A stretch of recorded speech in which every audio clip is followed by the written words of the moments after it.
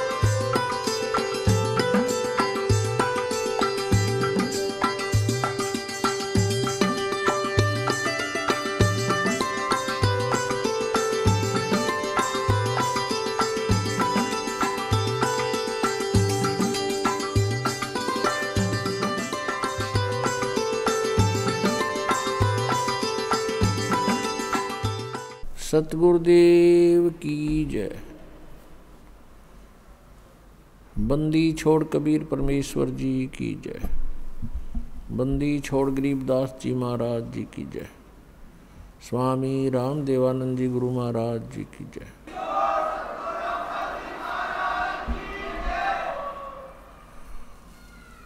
गरीब नमो नमो सतपुरुष को नमस्कार, गुरु की नहीं।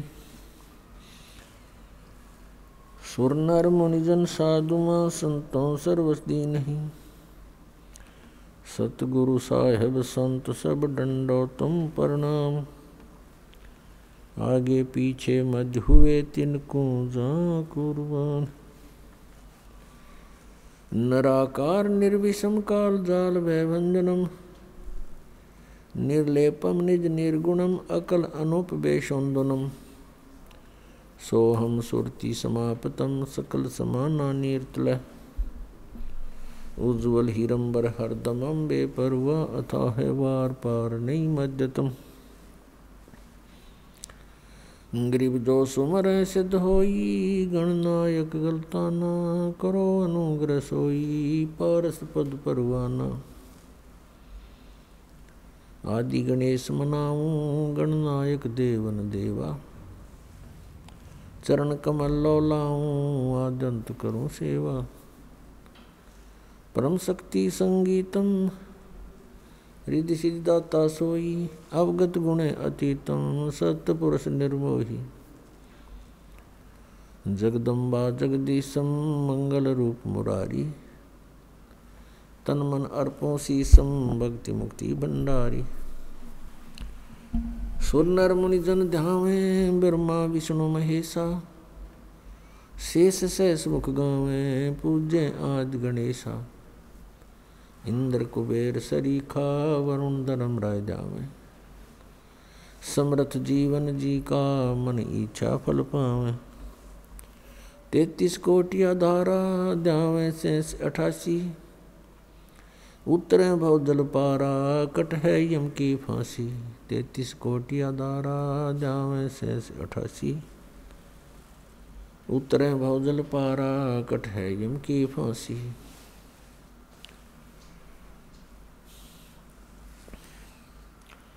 कर जोरों, विनती करूँ धरूं चरण पर शीशे। गुरु जी राम देवानंद जी महाराज ने दियो नाम बख्शीश। कोटि कोटि सिजदा करूँ, कोटि कोटि प्रणाम। चरण कमल में राखियो मैं बांधी जा मैं गुलाम कुत्ता हूँ गुरुदेव का रामपाल दास का नाम। गले प्रेम की जेवड़ी जाखे चोहा जाऊँ। तो तो करो तो बावड़ू, दूर दूर करो तो जाऊँ। जो राखो तो ही रहूँ। जो देवो, सुख परम पिता, परमात्मा, पूर्ण ब्रह्म, सारी सृष्टि के रचनहार, कुल मालिक, कबीर परमेश्वर जी की असीम कृपा से हम सभी प्राणियों को सत्संग सुनने को उपलब्ध हुआ। पुण्यात्माओं सत्संग के अंदर ये जानकारी दी जाती है कि ये मानव शरीर प्राणी को किस उद्देश्य से प्राप्त हुआ है। हम अन्य प्राणियों को देखते हैं जो क्रियाएँ वो कर रहे हैं, वो मनुष्य भी कर रहा है। यदि मनुष्य का इतना ही कार्य होता, जितना पशु और पक्षी करते हैं, संतानों उत्पत्ति, उनकी परवरिश और फिर मृत्यु तो मानव शरीर की कोई आवश्यकता नहीं थी। सत्संग से जानकारी होती है कि मानव शरीर का एक बहुत ही अनमोल कार्य इन क्रियाओं से भिन्न है। और ये दूसरे शब्दों में ये कहें कि मनुष्य जीवन का मूल कार्य ही अन्य है, वो कौन सा है, वो सत्संग से पता चलता है। कि आत्म कल्याण करवाना ये मनुष्य जीवन का मुख्य उद्देश्य है और इसी के लिए मनुष्य जीवन का एक सु अवसर प्राप्त होता है। इस सु अवसर को हम सत्संग के अभाव से तत्वज्ञान न प्राप्त होने के कारण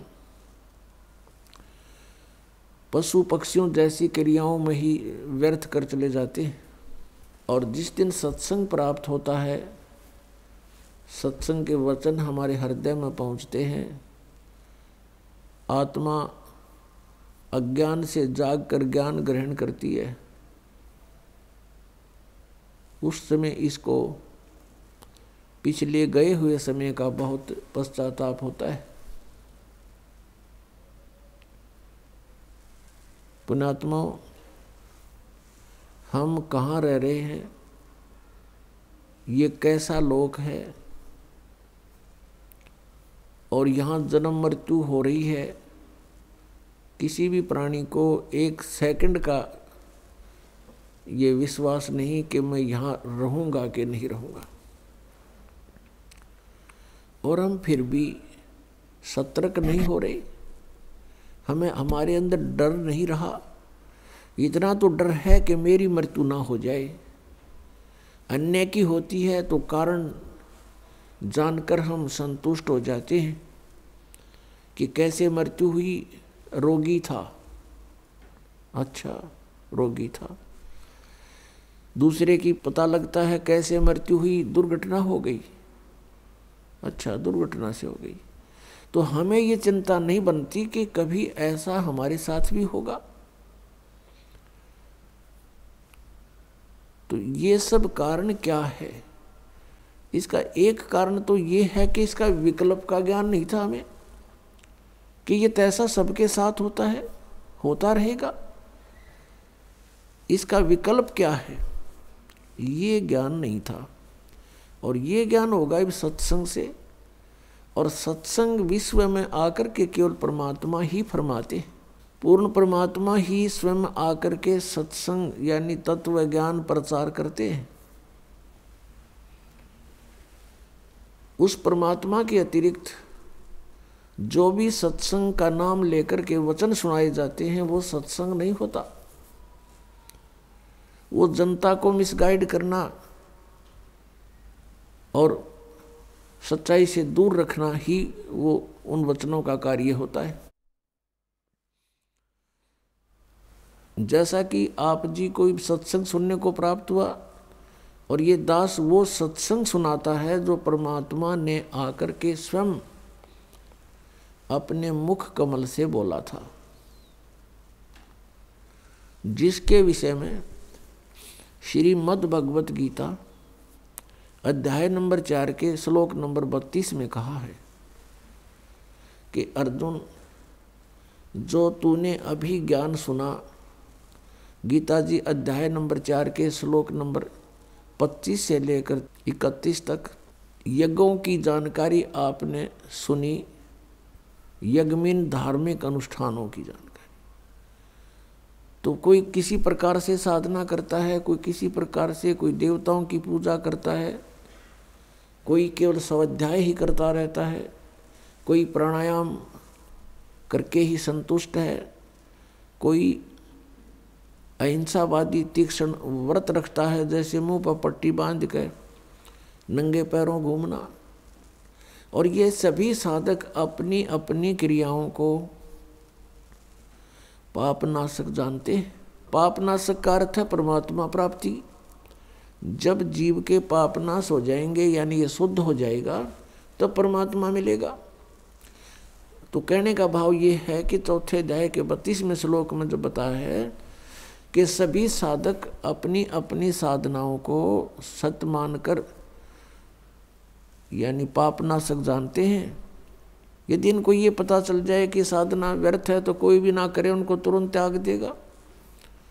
तो यहाँ चौथे अध्याय के बत्तीसवें श्लोक में बताया है कि जो पच्चीस से लेकर इकतीस तक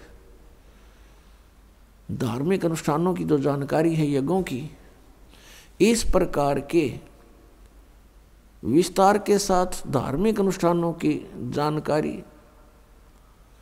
सचिदानंद गणब्रह्म की वाणी में विस्तार के साथ कहे गए हैं। यहाँ चौथे अध्याय के बत्तीसवें श्लोक में श्रीमद् भगवत गीता में के मूल पाठ में लिखा है कि ब्रह्मण मुखे। या अनुवादकर्ताओं ने गड़बड़ कर दी, ब्रह्मण मुखे का अर्थ कर दिया इन्होंने। ब्रह्मण मुखे का अर्थ गलत कर दिया, वेद की वाणी कर दिया। जबकि इसका अर्थ बनता है सचिदानंद घन ब्रह्म की वाणी। ब्रह्म ने मुखे का अर्थ सचिदानंद घन ब्रह्म की वाणी बनता है। श्रीमद् भगवत गीता अध्याय नंबर सत्रह के श्लोक तेईस में, इन्हीं अनुवादकर्ताओं ने ब्रह्मण का अर्थ किया है सचिदानंद घन ब्रह्म। वहाँ ठीक कर दिया? क्योंकि यहाँ विचलित हो गए तो चौथे अध्याय के बत्तीसवें श्लोक में सचिदान इस ब्रह्मण मुखे का अर्थ जाने सचिदानंद घन ब्रह्म की वाणी में। यहाँ पर मुखे शब्द लिखा है ब्रह्मण मुखे मुखे का अर्थ होता है, जो वाणी परमात्मा ने स्वयं यहाँ धरती पर प्रकट होकर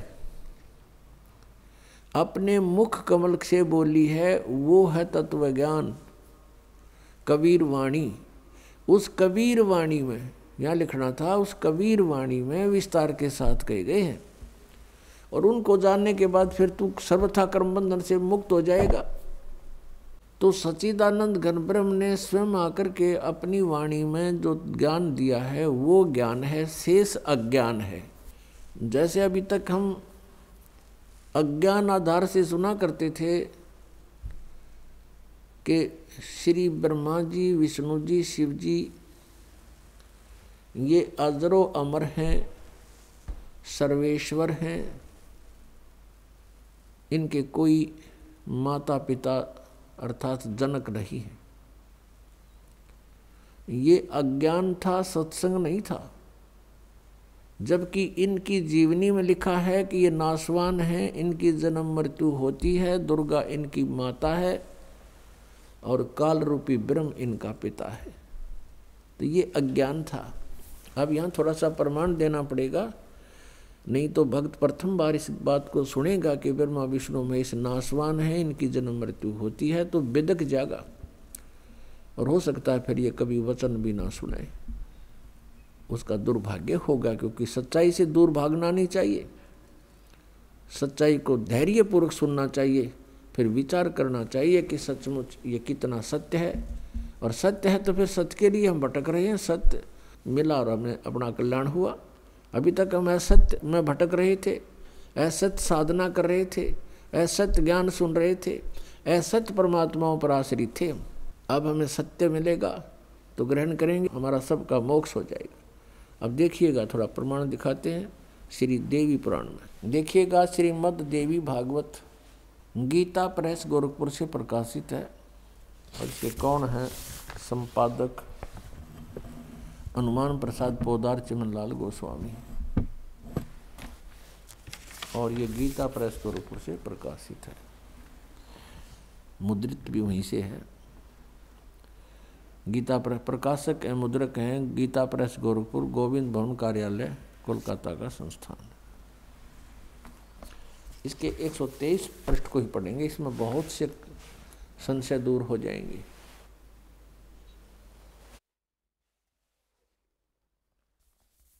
तीसरा स्कंद, श्रीमद देवी भागवत आप पढ़ रहे हैं 123 पृष्ठ पर देखिएगा। तुम, भगवान विष्णु जी अपनी माता दुर्गा के विषय में कह रहे हैं सतुति करते हुए तुम शुद्ध स्वरूपा हो। यह सारा संसार तुम इसे उद्भाषित हो रहा है। मैं, ब्रह्मा और शंकर, हम सभी तुम्हारी कृपा से विद्यमान हैं। हमारा आविर्भाव माने जन्म और तिरोभाव माने मृत्यु हुआ करता है। हमारा जन्म और मृत्यु हुआ करता है। केवल तुम ही नत हो, जगत जननी हो, प्रकृति और सनातनी देवी हो। ओह, फिर यहाँ कहा है, ये स्पष्ट लिखा है, आविर्भाव माने जन्म। भगवान विष्णु जी स्वीकार कर रहे हैं कि मैं, ब्रह्मा और शंकर, हम सभी का जन्म और मृत्यु हुआ करता है। केवल तुम ही नत हो, यानी अविनाशी हो, जगत जननी हो, प्रकृति और सनातनी देवी हो। ये भी याद रखना कि प्रकृति दुर्गा के लिए ही कहा जाता है। भगवान शंकर बोले, देवी, यदि महाभाग विष्णु तुम्ही से प्रकट हुए हैं तो उनके बाद उत्पन्न होने वाले ब्रह्मा भी तुम्हारे बालक हुए। फिर मैं तमोगुणी लीला करने वाला शंकर, क्या तुम्हारी संतान नहीं हुआ? अर्थात मुझे भी उत्पन्न करने वाली तुम ही हो शिवे।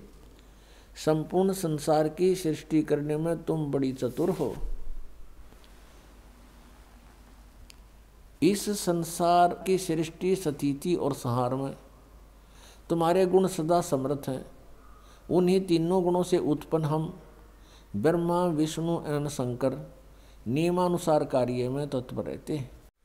पुण्यात्मा इस श्रीमद देवी भागवत यानी देवी पुराण ने चंद पंक्तियों में ये पाँच कंसेप्ट क्लियर कर दिए। नंबर एक, ब्रह्मा, विष्णु, महेश नासवान है, इनकी जन्म मृत्यु होती है। ये इनकी जीवनी में लिखा है। और नंबर दो, प्रकृति दुर्गा को कहते हैं।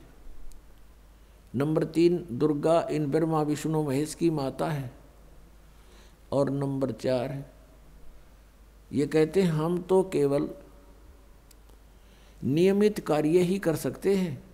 यानी जिसके संस्कार में दुख या सुख जैसा है उसको एज इट इज़ दे सकते हैं, उसमें हम कोई परिवर्तन नहीं कर सकते। और पांचवा ये हो गया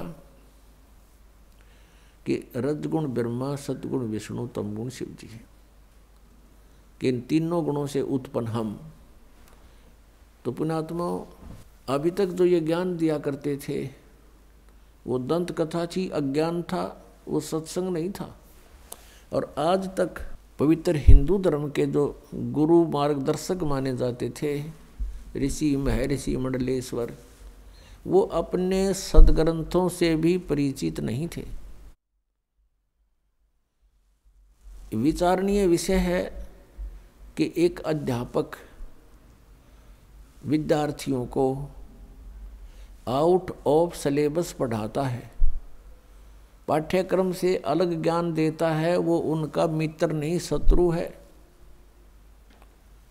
तो आज तक जितने भी हमारे पवित्र हिंदू धर्म के जो मार्गदर्शक थे, वे टीचर कहलाते थे, लेकिन वो टीचर नहीं थे। वो महाअज्ञानी थे। उन्होंने अपने सदग्रंथों को, अर्थात पाठ्यक्रम की पुस्तकों को भी नहीं ढंग से पढ़ा, नहीं समझा। एक लोक वेद बना के पूरे मानव समाज को भ्रमित कर दिया श्रीमद् भगवत गीता लगभग पचपन सौ वर्ष पूर्व श्री वेद व्यास जी द्वारा लिपिबद्ध की गई थी और श्री कृष्ण जी के शरीर में प्रवेश करके ब्रह्म ने, सर्वपुरुष ने, अर्थात काल भगवान ने यह बोली थी इस दास को परमात्मा कबीर देव जी ने दिव्य दृष्टि दी, यानी ज्ञान दृष्टि दी। उसके बाद इसका यथार्थ अनुवाद हुआ। इससे पूर्व, इस दास से पूर्व जितने भी आज तक अनुवाद करता है गीता जी के, उन्होंने अर्थों के अनर्थ कर डाले। उदाहरण के तौर पर सातवें अध्याय के अठारहवें श्लोक में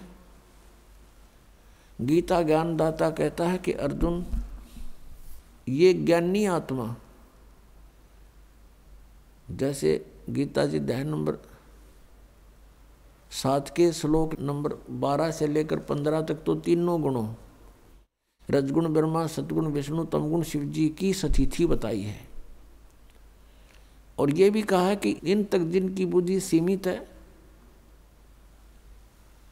वो अन्य किसी की बात सुनने को तैयार नहीं। वो मेरी भक्ति भी नहीं करते। फिर गीता ज्ञानदाता कहता है, ये ब्रह्म सरपुरुष सोलहवें और सत्तरवें श्लोक में कि मेरी भक्ति भी चार प्रकार के करते हैं। एक अर्थार्थी, आरत, नंबर दो। और नंबर तीन, जिज्ञासु, नंबर चार, ज्ञानी। इन तीनों को तो रिजेक्ट किया है। अर्थार्थी, अर्थ और जिज्ञासु को। ज्ञानी के विषय में कहा कि ज्ञानी आत्मा है तो अच्छी सातवें जाके अठारहवें श्लोक में। लेकिन ये मेरे वाली ही अनुतम गति में सथित रहे। अब यहाँ अनुतम का अर्थ एक छठी कक्षा के बच्चे से पूछ लीजिए। उत्तम माने अच्छा यानी गुड। और अनुत्तम माने बैड, यदि कोई व्यक्ति कहीं पर बैड का अर्थ, इंग्लिश में बैड का अर्थ और गुड करता है, श्रेष्ठ करता है तो महामूर्ख है वो। तो यहाँ इन्होंने अनुत्तम का अर्थ अति उत्तम कर दिया। कारण क्या रहा? अज्ञान। इनको पता नहीं था कि ब्रह्मा, विष्णु, महेश से ऊपर भी कोई शक्ति है। इनको ये भी नहीं मालूम था कि गीता जी का ज्ञान श्री कृष्ण नहीं बोल रहे। उसके अंदर प्रवेश करके ये श्री काल भगवान बोल रहे हैं, जो गीता जी अध्याय नंबर ग्यारह के श्लोक नंबर बत्तीस में कहता है कि, अर्जुन, मैं काल हूँ, सबको खाने के लिए आया हूँ अब हुआ हूँ, और तू युद्ध ना करेगा तो भी मारूँगा इनको। और ग्यारहवें अध्याय के इक्कीसवें श्लोक में अर्जुन कह रहा कि भगवान, आप तो इन देवताओं को भी खा रहे हो, आप ऋषियों को भी खा रहे हो, और ये सब सिद्धों के समुदाय आपके समक्ष वेद मंत्रों से आपकी सतुति भी कर रहे हैं, आपसे मंगल कामना भी कर रहे हैं, और आप इन सबको खा रहे हो। तब इसने ग्यारहवें अध्याय के बत्तीसवें श्लोक में कहा कि, अर्जुन, मैं काल हूँ अब प्रवर्त हुआ हूँ, अब आया हूँ मैं, अब प्रकट हुआ हूँ। श्री कृष्ण जी तो अर्जुन के साथ पहले से ही रहते थे, संबंधी थे उसके। और अर्जुन फिर ये पूछ रहा है कि, हे महानुभाव, तुम कौन हो? मैं आपको नहीं जानता। एक रिश्तेदार ने, नहीं जाने। कोई बात हुई तो उस समय श्री कृष्ण नहीं श्री कृष्ण से बाहर निकल कर वो काल अपना स्वरूप दिखा रहा था कि, अर्जुन, ये है मेरा विराट रूप। और इससे पहले किसी ने इसको नहीं देखा था। तेरे अतिरिक्त। और श्री कृष्ण जी तो अपना विराट रूप पांडवों की सभा में पहले दिखा चुके थे।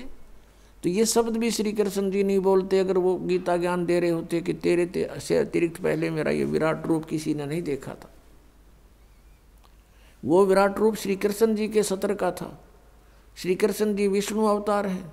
विष्णु जी केवल सोलह कला के भगवान हैं। और ये काल ब्रह्म एक हज़ार कला का भगवान है। जैसे एक तो सौ वाट का बल्लभ हो, एक एक हज़ार वाट का हो, एक सोलह वाट की ट्यूब हो, एक एक हज़ार वाट की ट्यूब हो तो ट्यूब दोनों रोशनी दोनों ही दिखा रही है, लेकिन अंतर बहुत होता है। ऐसे ही इनके विराट रूप मंत्र था। तो ऐसे ही गीता जी का ज्ञान, इनको नहीं मालूम था कि गीता जी का ज्ञान किसने बोला। इनकी बुद्धि श्री कृष्ण से ऊपर उठी नहीं। श्री कृष्ण जी को सर्वेश्वर महेश्वर मानकर, श्री गीता जी के ज्ञान का अज्ञान कर डाला। तो गीता जी अध्याय नंबर सात के श्लोक नंबर अठारह में, गीता ज्ञानदाता ये काल कह रहा है कि अर्जुन, ये सभी ज्ञानी आत्माएँ हैं तो नेक उद्धार, ये परमात्मा पाने के लिए अपना सर्वस न्यौछावर किए हुए हैं। लेकिन ये मेरे वाली घटिया अनुतम गति में ही स्थित हैं। अपने आत्माओं, अब ब्रह्म की साधना को, यानी काल अपनी साधना को अनुतम क्यों कहा? अब यहाँ विचार करो। श्रीमद् भगवत गीता ज्ञानदाता, गीता अध्याय नंबर चार के श्लोक नंबर पाँच और नौ में,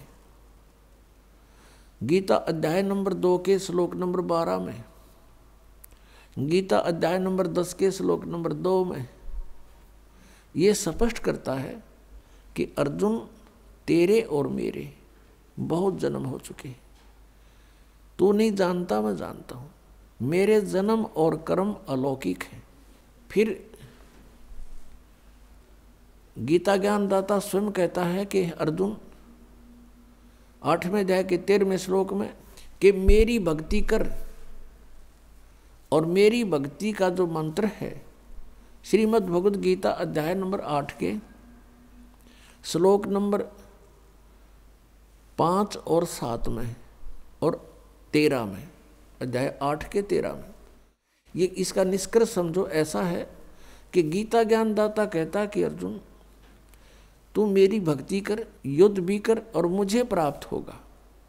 और मेरे पाने का मंत्र है आठवें अध्याय के तेरहवें श्लोक में स्पष्ट किया है, ओम इति एकाक्षरम ब्रह्म व्यवहारण मामनुसमरण यह परियाति तदन देहम सयाति परमाम गतिम।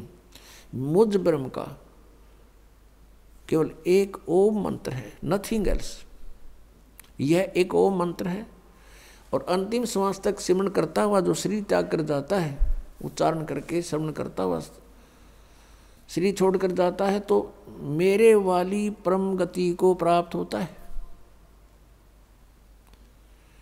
अब ओम के नाम से जो गति होनी है वो क्या है? क्या मोक्ष होगा? कितना मोक्ष होगा? कि ब्रह्मलोक प्राप्ति होगी। आठवें अध्याय के सोलहवें श्लोक में गीता जी में लिखा है कि अर्जुन, ब्रह्मलोक पर्यंत सभी प्राणी पुनरावृत्ति में है। पुनरावृत्ति का अर्थ वहाँ गए हुए प्राणी भी पुनर्जन्म को प्राप्त होते हैं, पूर्ण मोक्ष नहीं होता।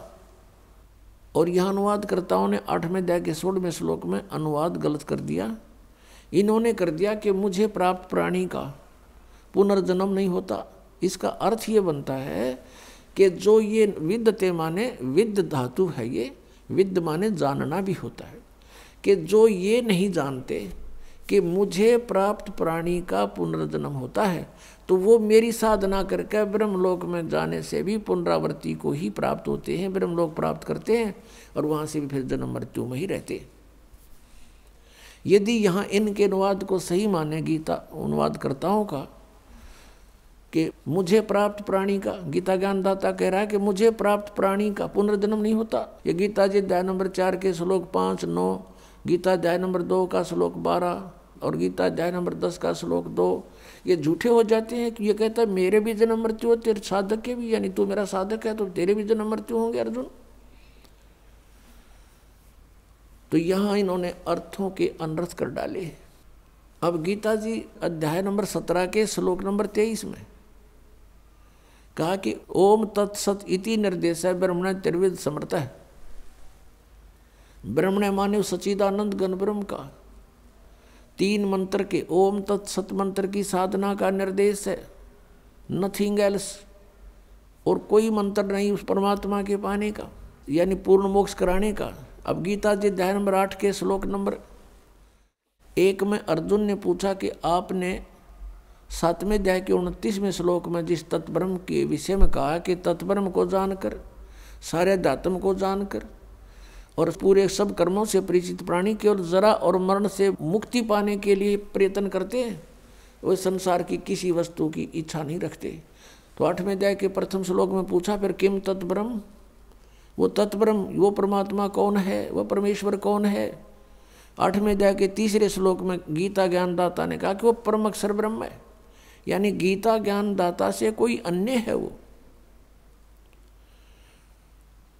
और फिर पंद्रहवें अध्याय के, पंद्रहवें अध्याय के एक से लेकर चार में श्लोक में और अठारहवें अध्याय के बैसठवें श्लोक में, गीता ज्ञानदाता, अपने से अन्य किसी परम अक्षर ब्रह्म, यानी सर्वशक्तिमान की शरण में जाने को कह रहा है।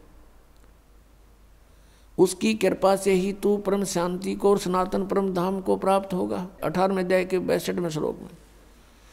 और गीता जी अध्याय नंबर पंद्रह के श्लोक एक से चार का निष्कर्ष है कि उल्टा लटका हुआ संसार रूपी वृक्ष है। और इसके सभी पार्ट्स को, सभी भागों को जो व्यक्ति जानता है स वेदवित वो वेद के तात्पर्य को जानने वाला है, अर्थात वो तत्वदर्शी संत है।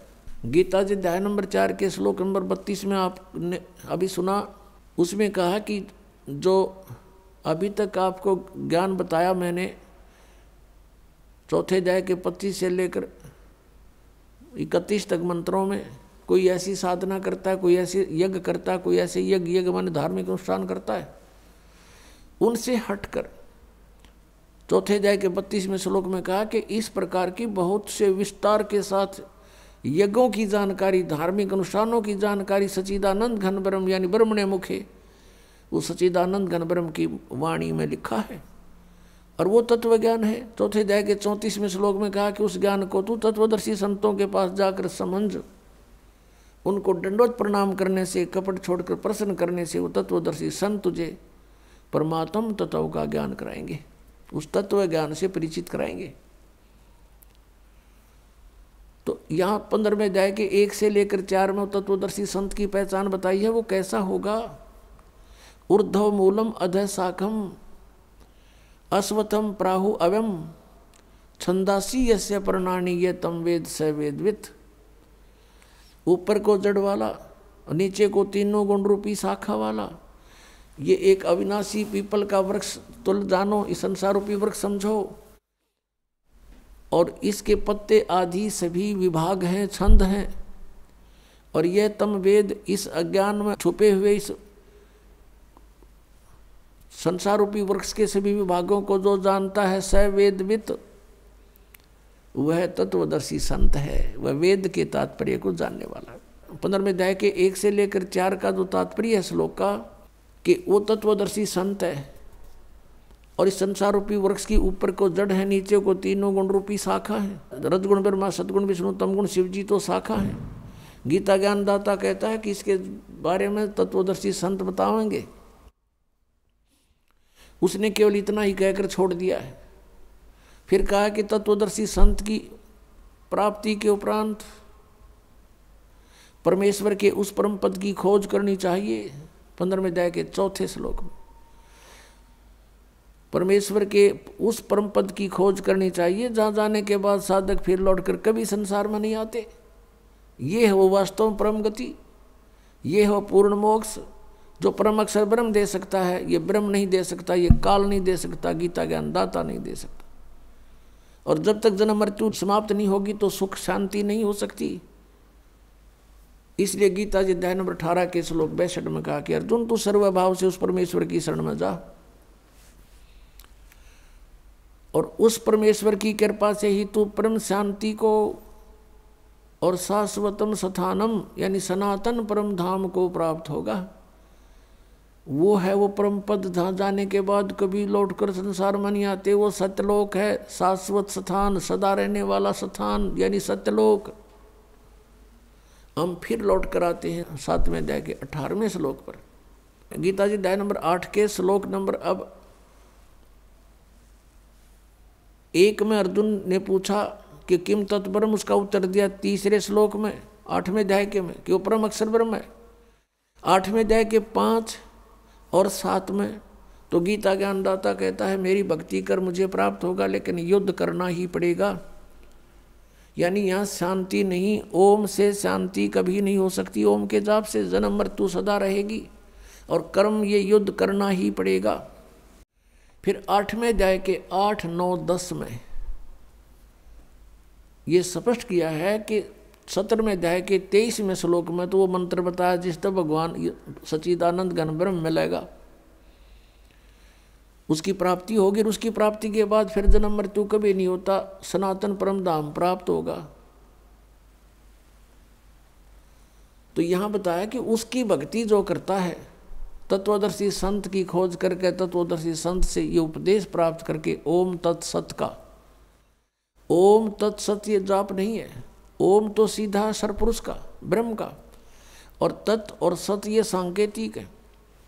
तत् है ये अक्षर पुरुष का और सत है ये परम अक्षर, ब्रह्म का परम अक्षर। पुरुष का जो आठवें अध्याय के तीसरे श्लोक में जिसके विषय में जानकारी दी। श्रीमद भगवद गीता अध्याय नंबर पंद्रह के श्लोक नंबर सोलह और सत्रह में तीन पुरुष हैं सर पुरुष अक्षर पुरुष। सोलहवें श्लोक में कहा कि सरपुरुष और अक्षर पुरुष, ये दो प्रकार के प्रभु हैं, परमात्मा हैं। वास्तव में परमात्मा नहीं है, लेकिन इनको भी परमात्मा कहते हैं। ये इनके अंतर्गत जितने प्राणी हैं और इनके सभी के स्थूल शरीर यानी नासवान है, ये भी नासवान है दोनों प्रभु यानी पुरुष, और इनके अंतर्गत जितने प्राणी, वो भी नासवान है। जीवात्मा तो किसी की भी नहीं मरती, वो तो गद्दे कुत्ते की भी ना मरती। अब पंद्रहवें अध्याय के सत्रहवें श्लोक में फिर कंसेप्ट क्लियर कर दिया कि उत्तम पुरुष है तू अन्य उत्तम पुरुष, वो श्रेष्ठ परमात्मा, वो परम अक्षर ब्रह्म की तरफ़ संकेत है, जो संसार रूपी वृक्ष की मूल है। और उस मूल से सबको आहार प्राप्त होता है। पूरे संसार रूपी वृक्ष का उसी से पोषण होता है, वृद्धि को प्राप्त होता है। तो पंद्रहवें अध्याय के सत्रहवें श्लोक में गीता ज्ञानदाता कह रहा है कि वो उत्तम पुरुषत्व अन्य और परमात्मा इति उदाहरते जिसको परमात्मा कहा जाता है। और वो उत्तम पुरुष श्रेष्ठ परमात्मा तो कोई और है सोल में श्लोक में वर्णित।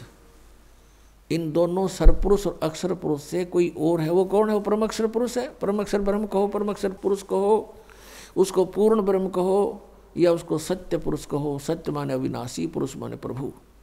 और वही यह लोक चरण आविश्य विवर्ती वही तीनों लोकों में प्रवेश करके सबका धारण पोषण करता है। अवय ईश्वर, वो है वास्तव में अविनाशी परमेश्वर। वो है वास्तव में अविनाशी परमेश्वर। अब आठवें अध्याय के आठ, नौ, दस श्लोक में स्पष्ट किया है कि अर्जुन जो उस परम अक्षर ब्रह्म की साधना करता है, जो आठवें अध्याय के तीसरे श्लोक में गीता ज्ञानदाता जिसके विषय बता रहा है, उसकी जो भक्ति करता है, उस मंत्र से जो तत्वदर्शी संत से प्राप्त करके, वो फिर उसी को प्राप्त होता है। उसको प्राप्त होता है तो वो अविनाशी परमात्मा है, वो तो सतलोक में रहता है, सनातन परम धाम में रहता है। तो इस प्रकार जीव का मोक्ष होता है। अब हमारी पवित्र श्रीमद भगवत गीता ये ज्ञान दे रहा है। और गीता ज्ञानदाता अपनी साधना को अनुतम बता रहा है। और ये अज्ञान आधार से अनुवाद करता हमारे गुरु, पूर्व के गुरु जो थे, अज्ञानी इन्होंने अनुतम का अर्थ ही अति उत्तम कर डाला सातवें दया के अठारहवें श्लोक में और सातवें दया के चौबीसवें श्लोक में। इन अनर्थ कर डाले। अठारहवें अध्याय के छसठवें श्लोक में गीता ज्ञानदाता कहता है कि सर्वधर्मान परितज माम, मेरे सतर की जितनी भी धार्मिक क्रियाएँ हैं, अनुष्ठान हैं, वो मुझमें त्याग दे। यानी मुझे सौंप दे। जैसे ओम तत् सत में तीन मंत्र है। ओम तत् ये सांकेतिक है सत भी सांकेतिक है। ओम तो ब्रह्म का है। कहते, मेरे सतर की जितनी पूजाएँ तूने की हैं, वो मुझे दे दे। और उसके पश्चात उस परमेश्वर की एकम शरणम व्रज, एकम जिसके बराबर दूसरा ना हो, अद्वितीय सर्वशक्तिमान यानी परम अक्षर ब्रह्म। उसकी शरण में वर्ज माने जा, जाना होता है। इन अज्ञानियों ने सबने वर्ज माने आना कर रखे आ जा, मेरी शरण में आ जा। फिर ये गीता ज्ञानदाता कहता है कि, अहम तवा सर्व पापे भो मोक्षामी मासुच। फिर मैं तुझे सब पापों से मुक्त कर दूँगा, तू चिंता ना कर। हम क्या करते रहे जैसे तत्व ज्ञान के अभाव से परम संत मिले नहीं ओम नाम का जाप और गीता जी अध्याय नंबर तीन के श्लोक नंबर दस से लेकर पंद्रह में जो अनुष्ठानों की जानकारी दी है, यज्ञों की, वो पाँचों यज्ञ करते रहे, ओम नाम का जाप करते रहे। और इसके प्रतिफल को हम ब्रह्मलोक प्राप्त करके वहाँ भोगते रहे। और ब्रह्मलोक में जाने के बाद फिर हम वापस जन्म मृत्यु में रहे। हमारे ऊपर ये दंड बना रहा। और पाप के आधार से हम नरक भी जाते रहे। अब जब हमें परम अक्षर ब्रह्म मिल जाते हैं, उस सतनाम के जाप से, दो अक्षर के सतनाम के जाप से हमारे पाप नाश हो जाते हैं। और हम क्या करते रहे? पुण्य तो हम स्वर्ग में खाते और पापों को भोगने के लिए इसने नरक बना रखा, उस नरक में हम भोगते, दुख पाते, दंड पाते और फिर चौरासी लाख योनियों के कष्ट भी भोगने पड़ते। यहाँ का ऐसा विधान है। तो ये क्या कहता है कि जब तू उसकी शरण में चला जाएगा तो मेरे सतर का जो हम क्या, जो अपना पुण्य था वो बर्बाद कर देते थे, उस पुण्यों को हम इसको दे देंगे। हम इसके ऋणी हैं। कैसे ऋणी हैं? कि इस काल भगवान ने सत्तर युग सत्तर युग तपस्या करके और चौसठ युग एक। तब इसने ये इक्कीस ब्रह्मांड प्राप्त किए थे परमक्षर ब्रह्म से, इस सरपुरुष ने सरब्रह्म ने। और ये आप देख रहे हैं, पृथ्वी कैसे घूम रही है? ये स्वयं भी घूम रही है, ऐसे, और ये ऐसे भी घूम रही है। हम इसमें अपनी गलती से, अपनी मर्ज़ी, इसके साथ बैठ कर आगे, इसके विमान में। यहाँ आगे हम सोलह शंख कोष की दूरी पर। अब यहाँ आने के बाद इसने हमारा दुरुपयोग किया। हम जो पूंजी लेकर आए थे, हम बड़े सेठ साहूकार के पुत्र थे, परम अक्षर ब्रह्म के पुत्र, पुत्री थी। और हम बहुत धनी थे, हम अपनी पूरा पूंजी लेकर साथ आए थे। उस पूंजी को इसने टैक्स लगाया हमारे ऊपर ऊपर स्वर्ग रखे। जैसे महास्वर्ग बना रखा ऊपर, उसमें रखे और वहाँ के चार्जेज रख दिए, इतने चार्ज होंगे प्रतिदिन के। तो ये उससे अपना काम चला रहा है। अब जैसे इस पृथ्वी पर हम आए, ये पृथ्वी घूम रही है। विमान की तरह।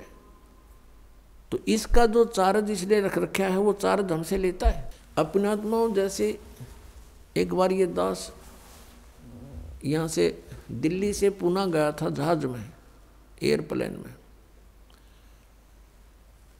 तो वहाँ से वहाँ तक का किराया लगभग छः हज़ार रुपये था। और उसके अंदर ही सारा चाय पानी, खाना, सारी व्यवस्था करते हैं। और वो पौने दो घंटे लगे वहाँ से दिल्ली से लेकर पूना तक के। पौने दो घंटों के उसने छः हज़ार रुपये चार्ज किए। और हम बैठे इसके विमान में किराया कितने दिन तक? तो ये कहता, मेरा किराया दे मुझे, जब छोड़ूं तुझे। हम फिर इसका किराया दे देंगे इसको? अब फिर हम इसके जो पूंजी को बर्बाद करते थे, वो ना करके इसका जितना चार्ज है इस भक्ति का, इसके सतर की भक्ति का, इसको दे देंगे। फिर ये हमें गधे, कुत्ते, सुअर नहीं बनाएगा या बाँध कर नहीं रखेगा। इसलिए अठारहवें अध्याय के छसठवें श्लोक में ये गीता ज्ञान दाता सरपुरुष है, श्री कृष्ण में बोल रहा है, ये ब्रह्म है, ये काल है इक्कीस ब्रह्मांड का स्वामी है, हम इसके लोक में यहाँ रह रहे हैं। तो ये कह रहा है कि मेरे सतर की सर्वधर्मान परितज माम अठारहवें अध्याय के छठवें श्लोक। मेरे सत्र के सभी धार्मिक अनुष्ठान, पूजाएँ मुझे दे दे, मुझे त्याग दे, छोड़ दे। मेरा ऋण मुक्त हो, मेरा कर्जा दे। फिर एकम शरणम व्रज। फिर उस सर्वशक्तिमान परमात्मा की शरण में व्रज माने जाओ, परमक सर्वरम की शरण में जाओ। अरे इन अज्ञानियों ने सबने अनुवाद कर रखा, आओ। यानी गो माने जाना होता है, अंग्रेज़ी का वर्ड है। और कोई गो माने आना लिखता है, कितना विद्वान होगा वो, अंडरस्टूड है। और इन अज्ञानियों ने ऐसा कर रखा आज तक हम आँखें बंद करके इनको महाविद्वान मानकर इनकी सब अज्ञान और ज्ञान को हम स्वीकार करते रहे सत्य मानते रहे। इन्होंने हमें डबो डाला। अब श्रीमद भगवत गीता में श्री कृष्ण जी का कोई रोल नहीं है। ये पूरा रोल काल का है। काल ये सरपुरुष है, किस ब्रह्मांड का स्वामी है। और इसने यहाँ साप लगा हुआ एक लाख मानव शरीरधारी प्राणियों का निताहार करने का, जिस कारण से इसने हमें अज्ञानी बना करके यहाँ बाई फोर्स रोका हुआ है, बलपूर्वक रोक रखा है। सब कार्य बलपूर्वक करवाता है। हमारे अंदर ऐसा इसने फ़ीड कर दिए गुण कि हम ये प्राणी विवश होकर के उनके बस कार्य करता है। जैसे कोई शराब भाँग पी लेता है, फिर उस जीव के बस का नहीं रहता, वो कैसी गतिविधि करे? तो ऐसे हमारे साथ इसने कर रखे बच्चे उत्पन्न कराता है, खाता है। आप जैसे कसाई बकरे, बकरियों को इकट्ठा छोड़ देता है। वो संतान उत्पत्ति करते हैं अपनी वासना के वश होकर के। और उन बच्चों में उनकी खूब ममता भी होती है। और काल उनको, कसाई खाता है और वो उनको अपने बच्चे मानते रहते हैं। यही सती थी परमात्मा कबीर जी ने बताई कि तुम यहाँ कसाई के लोक में रह रहे हो। इस काल के लोक में रह रहे हो। और यहाँ तुम्हारी जन्म मृत्यु कभी समाप्त नहीं हो सकती। और ये दुख तुम्हें सदा बने रहेंगे। चाहे स्वर्ग में जाओ, चाहे माँ स्वर्ग में जाओ इसके में। वहाँ पूरा होते ही समय वापस फिर यहाँ लौट कर आना पड़ेगा। तो प्रसंग चल रहा है कि हम यहाँ उसी पर आते हैं कि साथ में जाके अठारहवें श्लोक में गीता ज्ञानदाता ने अपनी साधना, अपनी गति को भी अनुतम कहा है, अश्रेष्ठ कहा है, क्योंकि जन्म मृत्यु मिटे नहीं। पूर्ण मोक्ष हो नहीं सकता। सनातन परम धाम प्राप्त नहीं हो सकता और सनातन परम धाम प्राप्त हुए बिना शांति नहीं हो सकती। तो वो गति फिर व्यर्थ है यूजलेस है, अनुतम है, घटिया है। इसका उदाहरण देते हैं। क्या बताते हैं? परमात्मा कबीर देव जी ने अपना तत्व ज्ञान अर्थात सचिदानंद घन ब्रह्म की वाणी स्वयं आकर के बोली है और वही ज्ञान आदरणीय गरीबदास साहिब जी में फ़ीड करके उनके मुख कमल से बाहर निकलवाया है। उसमें क्या बताया है? बैतरक सोणी अक्षय करी, चुनक ऋषिश्वर एक, ये दे धारे जोरा फिर ये। सभी काल के भेख बेहतर अक्षौणी अक्षय करी, क्षय माने नाश कर दिया बेहतर अक्षौणी का। किसने चुणक ऋषिश्वर एक, चुणक नामक एक ऋषिवर ने, ऋषिश्वर ऋषिश्वर देख कितनी गहरी शब्द लाया हमारे लेकिन इनके साथ। एक तो ऋषि सिंपल, एक ऋषि एक ऋषिश्वर ऋषियों में भी श्रेष्ठों से भी श्रेष्ठ। उस ऋषि के ये लक्षण हैं। क्या? कि बेहतर अक्षौणी मानदाता चक्रवर्ती राजा की बेहतर अक्षौणी का नाश कर दिया, खा गया। अक्षय करी। बेहतर अक्षौणी अक्षय करी। चुणकरी शीश्वर एक। ये दे धारे जोरा, फिर ये सभी काल के बेख। दे धारे जोरा जोरा माने मौत। जिनको तुम ऋषि, महर्षि मानते थे, परमात्मा कहते हैं, और जो ब्रह्म तक के पुजारी थे, ईश्वर पुरुष के पुजारी थे, ओम नाम का जाप करते थे, वेदों अनुसार वो कहते हैं, हम साधना करते हैं। वो काल तक के पुजारी हैं, ब्रह्म तक के पुजारी हैं, काल के भेक हैं, यानी काल के उपासक हैं। भेक होता है उपासक समूह, उसमें से ये एक हैं। कहते हैं या दे धारे जोरा फिरे, तुम ऋषि समझो, ये तो एटम बम फिरे हैं, शरीरदारी। ये मौत फिर चलती फिरती, जरा सा कोई कह दे, उसने फूक दे। ऐसी सिद्धियों से युक्त है ये, और तुम ऋषि मैं ऋषि मानते उनको। तो यहाँ बताए हैं कि इस काल के पुजारी इसलिए ये अनुतम है ये साधना, कि बेहतर सोनी, अक्षय करी, चुणक ऋषि ईश्वर एक, और ये दे धारे जोरा फिरे। तुम ऋषि को हो, ये तब मौत आंड है, या मौत भटक रही है तुम्हें? जरा सा छेड़ दिया, इसके प्रतिकूल कार्य थोड़ा सा भी कर दिया, वचन से ही तुम्हें बसम कर दे। और ये सभी काल के भेख है। दुर्वासा को पेत समझ न आई नीचे। छप्पन करोड़ यादव कटे, मची रुधिर की कीचे। परमात्मा बता रहे हैं कि दुर्वासा को पे तहा और समझ न आई नीच। देखा, हम तो दुर्वासा जैसे न महर्षि तोब माने थे और परमात्मा इनको नीच कहता, ये इसे नीच थे। कैसे थे? कि छप्पन करोड़ यादव कटे और मची रुधिर की कीच। कीच माने गारा कीचड़े ये दे धारे जोरा फिर सभी काल के भेख अब एक समय अभी दोनों उदाहरण सुनाते हैं आपको। अब ये जैसे चुनक ऋषि थे, अब ये ज्ञानी आत्मा थी। अब फिर आते हैं हम सातवें अध्याय के सोलह और सत्रह और अठारह पर। इसमें लिखा है कि चार प्रकार के साधक मेरी साधना करते हैं। ब्रह्म कह रहा है, गीता ज्ञानदाता सरपुरुष श्री कृष्ण में प्रवेश करके बोल रहा है। कह रहा है कि मेरी साधना नहीं ब्रह्म साधना भी चार प्रकार की करते हैं। नंबर एक अर्थ अर्थार्थी और जिज्ञासु और ज्ञानी। अर्थ तो होते हैं जो संकट निवारण के लिए वेद मंत्रों के द्वारा ही कोई अनुष्ठान करते हैं अर्थार्थी वो होते हैं जो धन लाभ के लिए, अपने व्यवसाय में बढ़ोतरी के लिए, वृद्धि के लिए वेद मंत्रों से ही कुछ जंतर मंत्र करते हैं वो, और किसी और अन्य किसी ग्रंथ से कोई सहयोग नहीं लेते। और तीसरे जिज्ञासु, जैसे ये जो न परमात्मा की चाहने वाली आत्माएँ घर से बाहर निकली, भद्र पुरुष,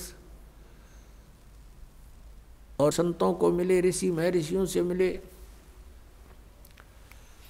उनसे ज्ञान प्राप्त करके और स्वयं ही वक्ता बन गए। परमात्मा पाने की चेष्टा नहीं करी उन जिज्ञासुओं ने। ज्ञान ग्रहण करने की इच्छा में जीवन व्रत कर दिया और वक्ता बनकर सुनान लग गए।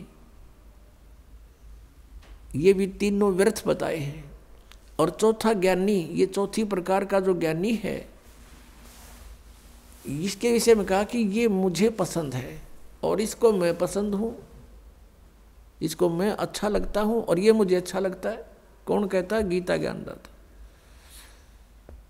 अब गीता ज्ञानदाता इसको अच्छा क्यों बताते हैं? क्योंकि सात में के बारह से लेकर पंद्रह में तीनों गुणों, रजगुण, ब्रह्मा, सतगुण, विष्णु तम गुण, शिव जी की साधना करने वालों को गीता ज्ञानदाता कहता है कि ये राक्षस स्वभाव को धारण किए हुए मनुष्यों में नीच, दूषित कर्म करने वाले मूर्ख मेरी भक्ति नहीं करते। गीता जी अध्याय नंबर सात के श्लोक नंबर बारह से पंद्रह में तीनों गुण, रजगुण, ब्रह्मा सतगुण विष्णु तम गुण, शिव जी, की जो साधना करते हैं और इन्हीं तक इन, जिनकी बुद्धि सीमित है, वो मेरी भक्ति नहीं करते, ये मूर्ख। अपनी भक्ति के विषय बता रहा है, ये चार प्रकार के करते हैं। इन चार प्रकार में से भी फिर ज्ञानी को कहता है कि ये ज्ञानी मुझे पसंद है। मुझे अच्छा लगता है क्योंकि इसने मेरी भक्ति की। और इसको मैं अच्छा लगता हूँ क्योंकि ज्ञानी वो होता है जिसको ये ज्ञान हो जाए कि भाई मनुष्य जीवन का उद्देश्य क्या है। उसको उद्देश्य का पता लगता है कि इस उद्देश्य केवल यही है कि मोक्ष हो, जन्म और मृत्यु से छुटकारा हो। और वेदों में लिखा है कि जन्म और मृत्यु का छुटकारा तो केवल परम अक्षर ब्रह्म की शरण में जाने से होगा। एक विचार करना पुणात्मा जैसे अभी आपको सुनाया कि अठारहवें जय के बैसठ में श्लोक में कहा है कि अर्जुन, तू सर्वभाव से उस परमेश्वर की शरण में जा उसकी कृपा से ही तू परम शांति को और सनातन परम धाम को प्राप्त होगा। गीता जी अध्याय नंबर पंद्रह के श्लोक नंबर एक से चार में कहा कि उल्टे लटके हुए संसार रूपी वृक्ष को जो जानता वो तत्वदर्शी संत है। उसके सभी भाग बता देता है तो उसके पश्चात परमेश्वर के उस परम पद की खोज करनी चाहिए, तत्वदर्शी संत की प्राप्ति के उपरांत। जहाँ जाने के बाद साधक फिर लौट कर कभी संसार में नहीं आते। और अपनी जानकारी चौथे अध्याय के पाँचवें और नौवें श्लोक में, दूसरे अध्याय के बारहवें श्लोक में, दसवें अध्याय के दूसरे श्लोक में गीता ज्ञानदाता कहता है, अर्जुन, तेरे और मेरे बहुत जन्म हो चुके, तू नहीं जानता, मैं जानता हूँ। तो इसे सिद्ध हो गया कि वो अपने से किसी अन्य परम अक्षर ब्रह्म की तरफ़ संकेत करा कि उसकी शरण में जाने से मोक्ष होगा। तो इन ज्ञानी आत्माओं ने वेदों को पढ़ा, क्योंकि श्रीमद भगवद गीता चारों पवित्र वेदों का सारांश है। कोड वर्ड इसमें अधिक है। और उसको तत्वदर्शी संत ही जान सकता है। गीता ज्ञान दाता भी अपरिचित है। उसने ऑप्शन छोड़ दिया है कि तत्वदर्शी संत बताएगा। तो इन ज्ञानी आत्माओं को, जिन्होंने वेदों को पढ़ा उसमें उनको ये जानकारी होगी कि तीनों गुण की भक्ति नहीं करनी चाहिए। इसे मोक्ष नहीं हो सकता। फिर उनको ये भी ज्ञान हुआ कि मनुष्य जीवन केवल मोक्ष प्राप्ति के लिए प्राप्त है। फिर इनको वेदों से ये भी जानकारी हुई कि पूर्ण मोक्ष तो उस समर्थ शक्ति से होगा, पूर्ण परमात्मा से होगा। अब चारों वेदों में केवल वे ऑफ़ वर्शिप तो ब्रह्म तक की है। और जानकारी परम अक्षर ब्रह्म की अत्यधिक है। अब इनको तत्वदर्शी संत नहीं मिला ऋषियों को, ज्ञानियों को। उन्होंने स्वयं निष्कर्ष निकाला, श्री ब्रह्मा जी से डिस्कस करके, क्योंकि श्री ब्रह्मा जी को चारों वेद प्राप्त हुए थे, सागर मंथन में। और ब्रह्मा जी ने वेदों को पढ़ा, जैसा उसने समझा, क्योंकि इनकी बुद्धि ब्रह्म के हाथ में है, काल के हाथ में है। और ब्रह्मा जी का जब जन्म हुआ और उसको जब वो युवा हुआ, तब तक वो बेहोश था, अचेत था, फिर कमल के फूल पर इसको रख दिया गया, वहाँ इसको सचेत किया गया तो इसने देखा, मैं कहाँ से आ गया, मेरा क्या उद्देश्य है? तो इस काल भगवान ने आकाशवाणी करी कि तप करो तप करो। ब्रह्मा जी ने हज़ार वर्ष तक तप किया। जब इसमें सिद्धि आ गई उच्चारज हो गया, तब इसने आकाशवाणी करी कि अब सृष्टि करो। तो वो जो आकाशवाणी थी, वह थी तो ब्रह्म की काल की सरपुरुष की। और ब्रह्मा ने सोच लिया, ये परमात्मा की आकाशवाणी है, तप करना। ये तो इसको वेद प्राप्त होने से पहले आकाशवाणी हो चुकी थी। फिर जब ये तीनों भाई इकट्ठे हुए, इनको आदेश दिया दुर्गा ने कि जाओ तुम सागर मंथन करो। तो दुर्गा जी के आदेश से तीनों ने रजगुण, ब्रह्मा, सतगुण, विष्णु तम गुण शिव जी ने सागर, मंथन किया। प्रथम बार ये चार वेद निकले, चारों वेद ब्रह्मा को प्राप्त हुए। फिर ब्रह्मा जी ने पढ़ा तो ब्रह्मा जी ने वेदों में, जैसे यजुर्वेद अध्याय नंबर चालीस के मंत्र नंबर पंद्रह में स्पष्ट किया है कि वायु अनिलम बसमांतम अथिदम अमृतम। वायु अनिलम अमृतम अथिदम बसमांतम शरीरम। ओम कर्तु समर, किलवे समर और कर्तुम समर। ओम नाम का जाप। काम करते करते सिमरण करो। विशेष कसक के साथ, यानी श्रद्धा के साथ समन करो। किलबलाहट के साथ, रंकार धुन से। यानी एक ऐसी रंकार धुन, ये नहीं, ये नाम देते हैं, पाँच नाम उनमें नहीं। रंकार का अर्थ है जैसे मरता हुआ आदमी अपनी जीवन याचना करता है, ऐसे। ऐसे इस मंत्र में श्रद्धा रखे, जो भी जाप करे। तो कहते हैं फिर, और काम करते करते सिमन करो, ओम नाम का जाप करो। तो ऋषियों ने ये जान लिया कि Om is the mantra of complete God.